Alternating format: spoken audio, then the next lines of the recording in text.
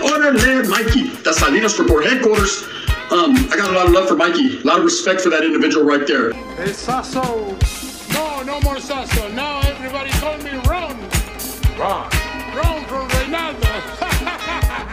Flores says Mikey said he would let it all go if you'd box him. Says Freddie Flores. Box who? What are you talking about, bro? Sasuke, bang bang. I don't know what you're talking about, brother. Box. I I can't call it like an let what go. Orderly Mikey, that's Salinas Report headquarters.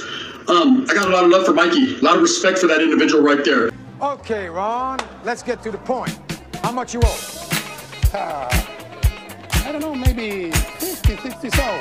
Okay, that means about a hundred. That you owe him 10 G's for pulling on him. He says that. Oh, I don't know who that is, Freddie Flores. To be totally honest with you, bro. I don't know. I don't I don't even know who that is, brother. Orderly Mikey, that's Salinas Report headquarters. Um, I got a lot of love for Mikey, a lot of respect for that individual right there.